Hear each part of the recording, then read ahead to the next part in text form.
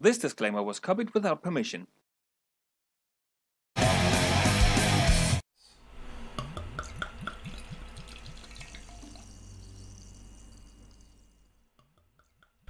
It can't all be about Ola and me getting drunk now, can it? It's time for a rant.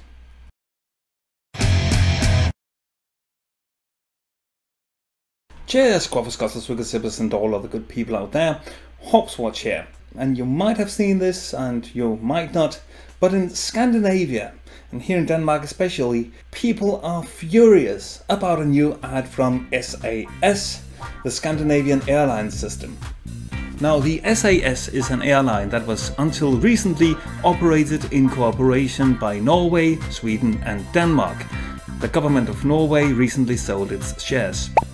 It does, however, remain an icon of Scandinavian brotherhood and cooperation, and it began as a joint forces Scandinavian venture into the highly competitive and risky field of airline business back in 1951. On the 10th of February, the SAS released a video ad which was just over two and a half minutes long. Link in the description. In the ad, we are introduced to a number of Scandinavian icons like parental leave, windmills, rye bread, and Danish pastry. And we are then told that these aren't Scandinavian inventions at all. Parental leave is from Switzerland, windmills are from Persia, rye bread is from Turkey, and Danish pastry is from Austria. We call it Wienerbrød. That's literally mm, bread from Vienna. The video starts with a somewhat bombastic claim about what Scandinavian culture actually is. Absolutely nothing. Now, this seems to have pissed some people off. The video almost immediately became the target of a trolling and downvoting campaign because of its controversial message. Not much research is needed to conclude that it was primarily the usual suspects among right wingers that felt like the SAS were shoving cactuses up their bums. These are some examples from the far right wing party, the Danish People's Party. Link in the description, of course, if you want to test my translations with those from an engine afterwards. One of the, if not the, most melanin starved region in the world, Scandinavia, seems to have an issue with being told a lesson. Or at least uh, some people have. But it is, after all, hardly surprising that in the whitest of white places where white people live, you can find a few snowflakes.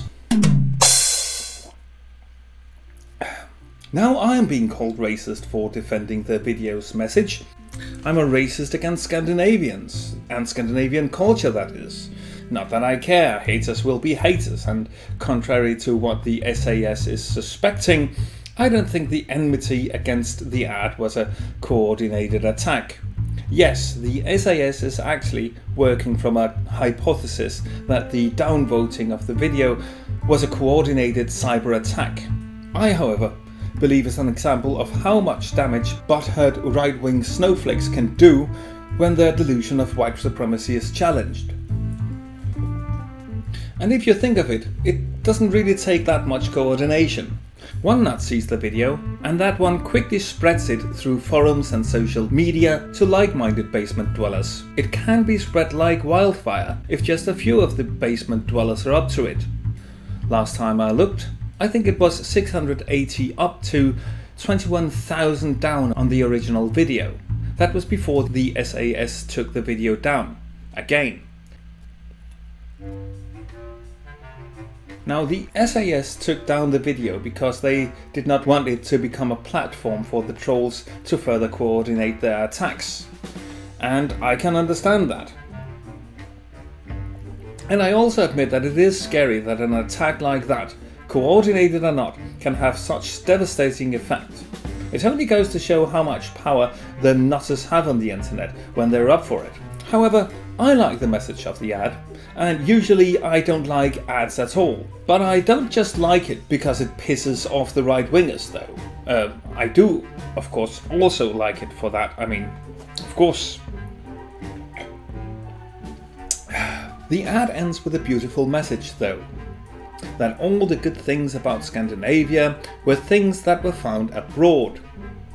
When we were out, away from Scandinavia, travelling, and going out into the world to find out about new and better things is something truly Scandinavian.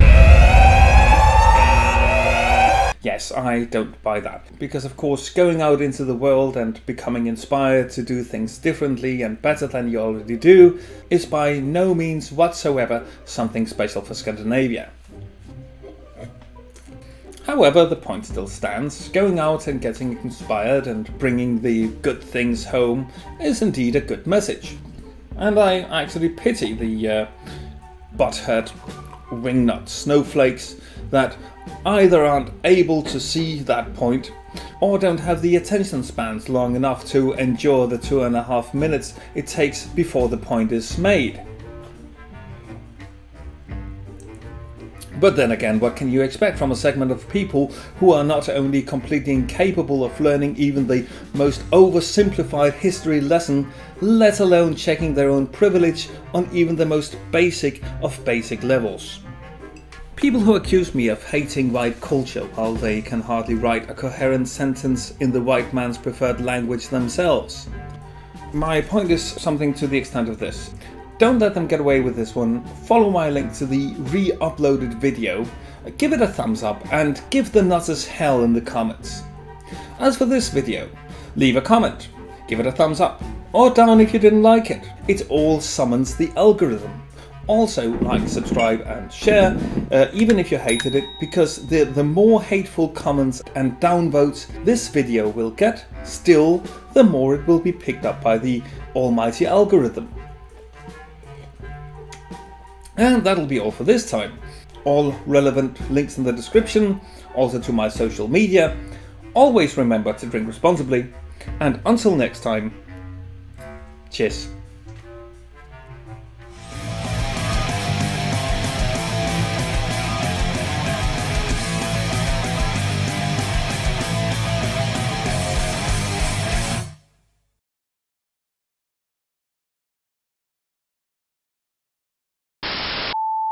This is supermarket Danish pastry.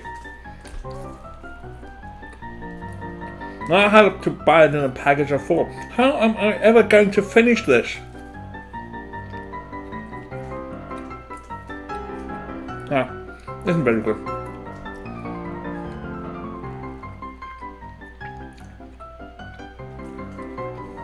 No, that's all right.